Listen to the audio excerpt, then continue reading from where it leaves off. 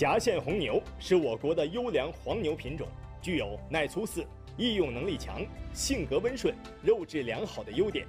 但是，这么好的黄牛品种也面临着保种危机。今天的农广天地，咱们就认识一下夹县红牛，传播农业科技经营知识，大力培育新型职业农民。您好，观众朋友，欢迎来到农广天地。河南省地处中原，是中华民族的发祥地和华夏文明的摇篮。几千年来，一代又一代的中原儿女在这片土地上的辛勤劳作，形成了悠久灿烂的农耕文化。而牛，则是农耕文化的重要组成部分。牛在先民告别刀耕火种，进入农业文明的过程中，助过一臂之力。那今天我们节目的主角，就是一个来自中原地区的古老牛种——夹县红牛。夹县红牛因原产于河南省夹县。且毛色呈红色而得名，是我国著名的易肉兼用型地方优良黄牛品种。夹县红牛体格中等，结构匀称，体躯较长，背腰平宽，腹部充实。从侧面看，形似长方形。夹县红牛的背毛短而富有光泽，全身毛色一致，没有其他杂色毛。夹县红牛的主要特征是毛色红润，它分有浅红、紫红和红色三种。嗯，占多数都是百分之五十以上的属于是嗯红色的，嗯，有占百分之三十以上的是属于是紫红色的，那种嗯浅红色的就占百分之十几。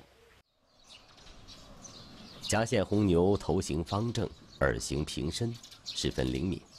额宽嘴齐，大大的眼睛炯炯有神。夹县红牛的鼻孔比较大，鼻颈肉多为红色，少量为黑色。夹县红牛的角偏短，角质细密，富有光泽，角形多样。当地的人们为了能够更好地区分这些角形，取了许多生动形象的名字，像龙门角、萝卜头角等。牛的呃有一种龙门角，龙门角就是长得是倒八字形的，呃就是这样长了，是龙门角。还有一种是平角，平角是它角的方向是长的水平的。嗯，有一种扁担角，扁担角它是牛角尖儿都是向下，稍微向下弯了，就像扁担一样，所以叫它扁担角。还有一种是萝卜头角，萝卜头角就是长得很短，就像个小萝卜头一样，所以叫它萝卜头角。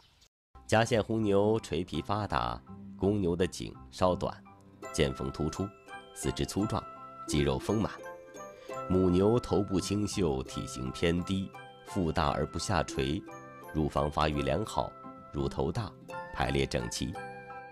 夹县红牛成年公牛平均体高为一百四十七厘米，平均体斜长为一百八十三厘米，平均体重为六百零三千克。夹县红牛成年母牛平均体高为一百三十一厘米，平均体斜长为一百五十九厘米，平均体重为四百六十千克。夹县红牛的产肉性能也是很高的，它的屠宰月龄一般为二十四个月左右，体重为四百八十八千克的公牛，在屠宰后动体重为二百九十二千克，净肉重为二百五十千克。屠宰率为百分之六十，净肉率可以达到百分之五十一。夹县红牛肉质细嫩，色泽鲜红，大理石纹明显，肉味醇香，很受国内外市场的青睐。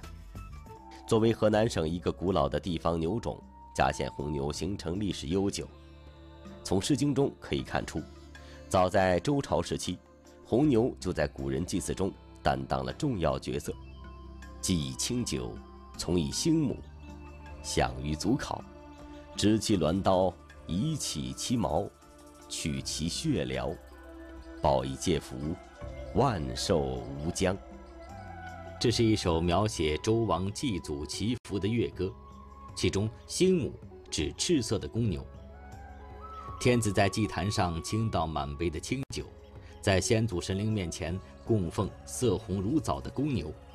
以此希望神灵能够赐以鸿福无量，愿子孙们可以长命百岁。之前呢，就说咱们国家呢，就说呢，传统的文化当中啊，都有这个国家都有祭祀的这种行为。因为这个西周呢，它是上赤，从五行上来说，它属火，所以说它就是祭祀的时候一定要用红牛。到了大祭的时候，天子出来，把这个九鼎八簋摆出来，把这些牛呢屠宰了之后呢，最好的一块放在这个鼎里边，然后呢，在气天，就是祈祷天。在未来的这个这个这个明年也好，或者这个这个未来的这个时光当中吧，能够让老天爷呢，给这个老百姓的降福啊，这是一种祈求。呃，所以说这个这个红牛呢，追溯起来，我感觉它应该是血统是比较高贵的。那么当年古人祭祀用的红牛，与我们今天的嘉县红牛又有什么关系呢？嘉县红牛应该是在西周的时候啊，西周东迁，到了我们洛阳。他来的时候就把这个太牢里边的红牛呢，也就是祭祀的红牛呢，肯定都全部要带过来，就把我们嘉县这个地区因为是平原嘛，气候也比较适宜，四季分明，就把这儿呢作为给国家养这个祭祀牛，也就是所谓的生牛，哎，牺牲的生，呃，一个地区。你看他当时的选择的时候就说这个祭祀的牛绝对。要是红牛，而且呢，一根杂毛没有，还得长得漂亮。如今的夹县红牛主要分布在河南省的夹县、宝丰县、鲁山县，在汝州市、禹州市以及襄城县等地也有少量饲养。夹县红牛的主产区夹县位于河南省中部，属于大陆性季风气候，四季分明，雨量充沛。光照充足，这里河流纵横，水源充足，天然牧草种类繁多，为养殖夹县红牛提供了良好的放牧条件。此外，这里的农业也比较发达，农作物产量高，农副产品比较丰富，像秸秆、藤秧等，这些都是夹县红牛的优良饲料。正是这种得天独厚的自然地理环境，为夹县红牛的形成和发展。提供了优越的条件。这边呢，咱现在最主要是咱地处中原，咱这以小麦为主，但是咱四季分明，各种作物都有。你像小麦、玉米、大豆，哎，这各种作物很全。这些粮食收获了后，秸秆是就要是烂到地里，它就是草食东西。所以说，它咱要这东西收回来以后，咱都要充分利用，一是对环境。一个保护，二是对转化对人转化成有益的东西。这牛吃了牛秸秆，这牛粪咱要上到地里了，都着着上到地里的牛粪里，上了牛粪的庄稼，吃起来好吃。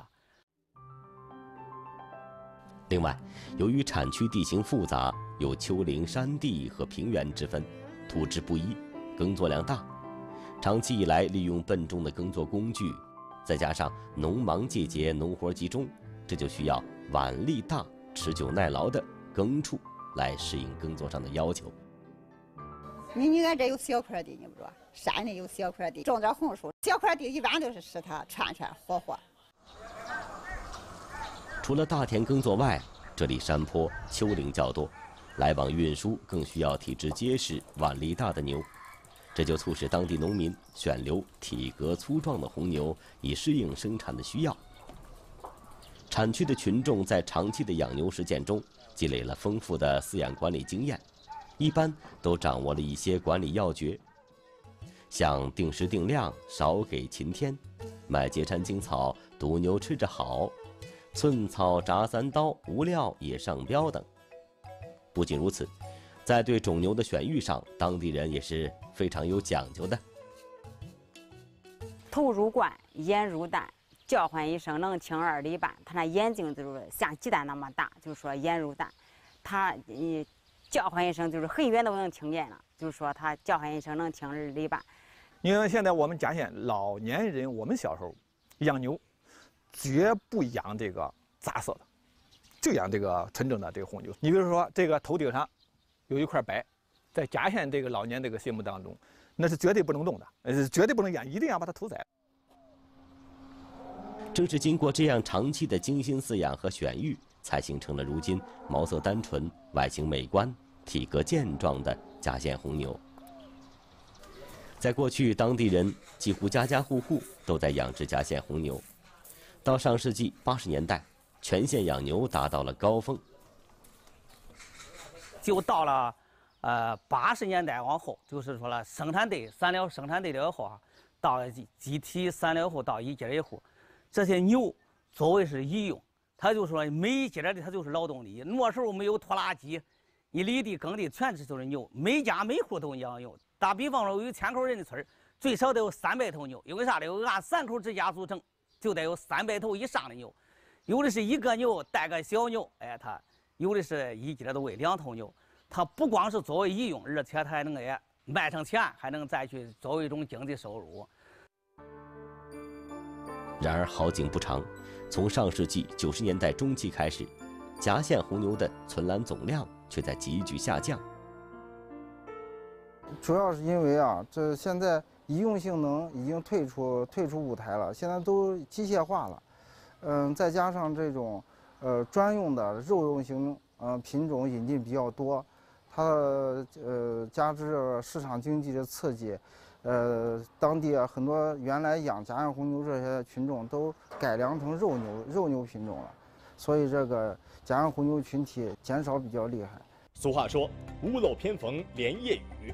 进入了本世纪初期，由于大量农村劳动力向城市转移，致使以家庭为单位的养牛户越来越少，夹县红牛的养殖数量每况愈下。那该怎么办呢？不要走开，农广天地稍后回来。二零零六年，全县夹县红牛存栏量由原来的二十多万头下降到了不足五万头。对此，当地政府联合畜牧专家制定了一系列的计划，重新加大了对夹县红牛的保种工作力度。是为了有效的保护夹县红牛品这个品种资源，我们平顶山市政府高度重视。二零零六年着手建立一个二百头规模的保种场，每年出拨出专项资金，用于夹县红牛的保种工作。并且成立的还有这个养牛协会，对夹县红牛，呃进行开发。为了确保夹县红牛特有的优良性状和基因更好的遗传下去，专家们在保种过程中主要采用了种群活体保种和冻精冻胚保种相结合的方法。咱这厂里主要是活体保种，活体保种就是现在呢主要是就是本品种这个选育，把不好性状的这个牛淘汰掉，然后留下这个比较优秀呃优秀性状这些牛。种群活体保种的首要任务就是搜集纯种的夹线红牛，并进行科学的选育、优化和提纯，以此来组建保种核心群。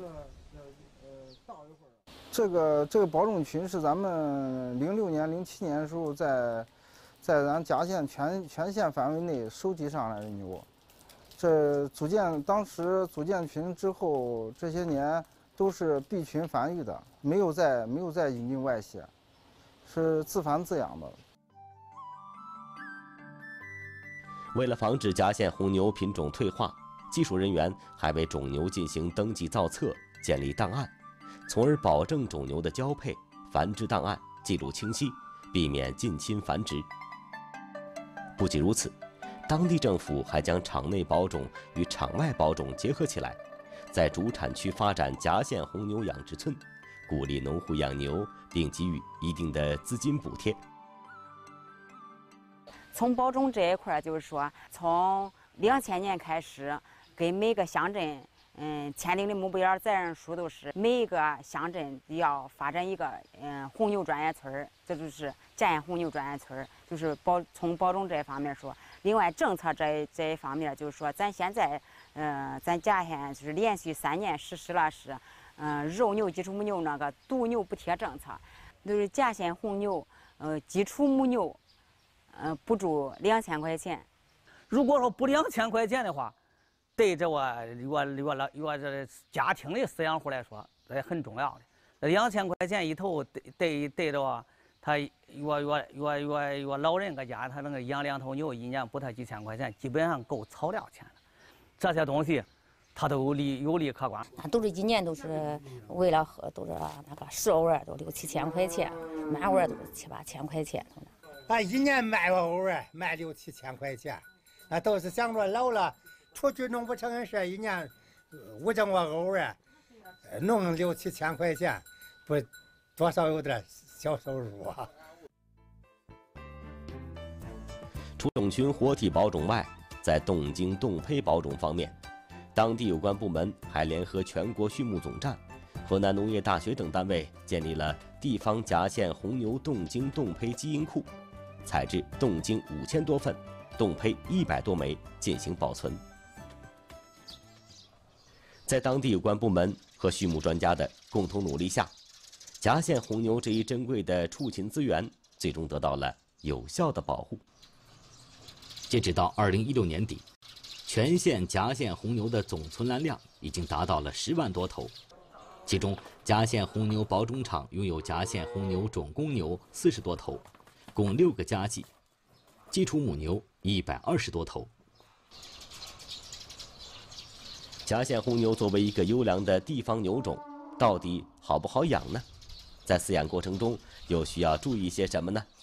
接下来就让我们一起去看一看。要想养好夹县红牛，保护好它的优良特性，首先在牛舍建造上就要符合夹县红牛的生活习性。牛舍一般包括室内圈舍和室外运动场。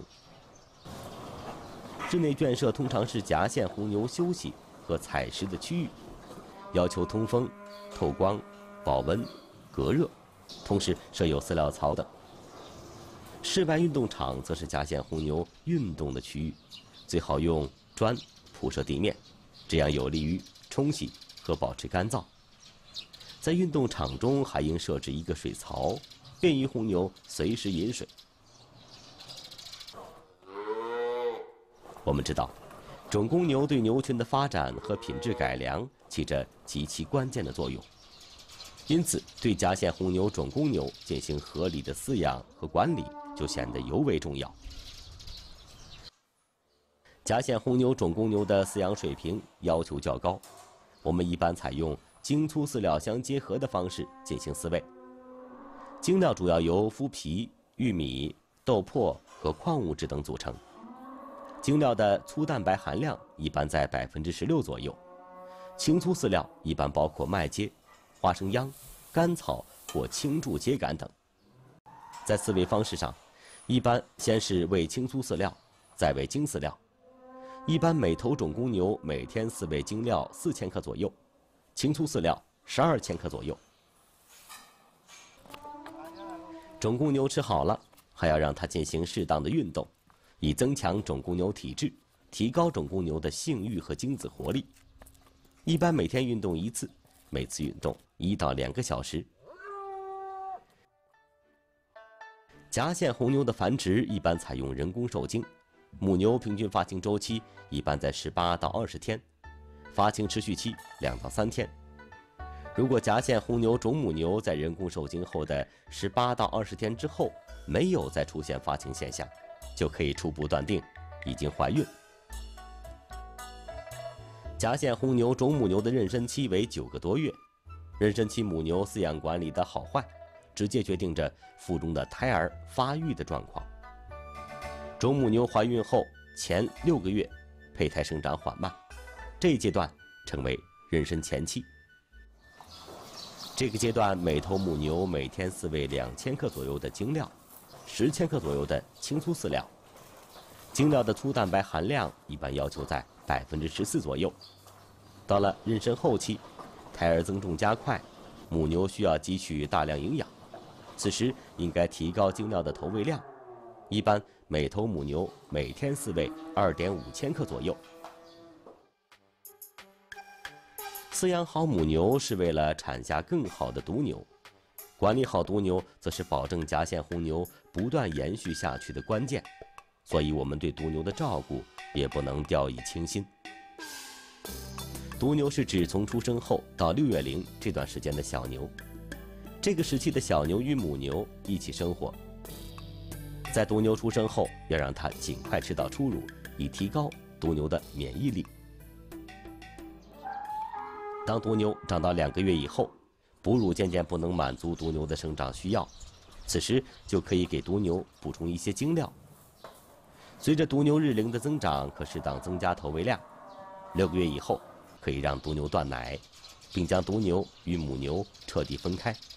此时，我们就可以进行选留后备种牛的工作了。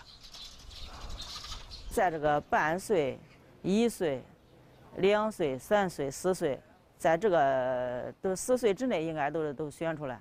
他从半岁开始测量嘛，所以从半岁测量了以后，对他进行初步评定，然后再经过这几次选择，才可以作为种公母牛。检验红牛在这个选育过程中。主要是根据它的体型外貌，发育比较良好，结构比较匀称，毛色红润，符合本品种特征，然后它的生殖器官发育良好，没有生殖缺陷，健康，然后是后驱发育比较良好，产肉性能比较好，分这几个方面进行选育。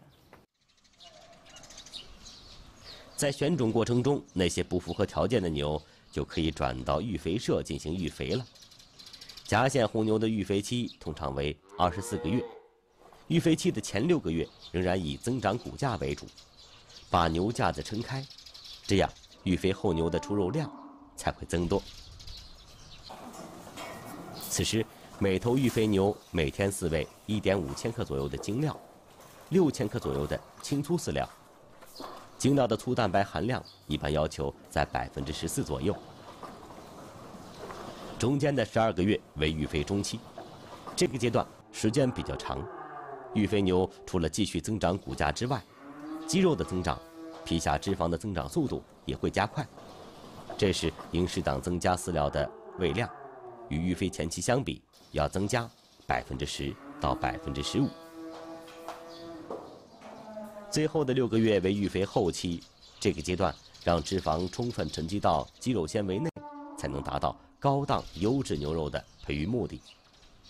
粗饲料不再饲喂轻重饲料，否则会降低牛肉等级。粗饲料一般为优质干草或麦秸，投喂量一般每头牛每天为七千克左右，精料投喂量为每头牛每天四千克左右。经过二十四个月的育肥，当夹线红牛的体重达到五百千克以上时，就可以出栏了。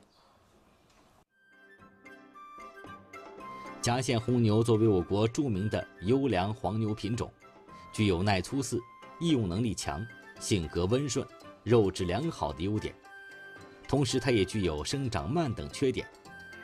为了解决这一问题，近年来畜牧专家以夹线红牛为母本。分别与引进的西门塔尔、夏洛莱等公牛进行杂交，培育出了许多优质快长的新品种杂交牛，因此具有很好的市场前景。除了杂交利用以外，当地政府联合企业还积极探索夹线红牛产业发展新模式，不断开发夹线红牛肉系列产品，开创特色品牌。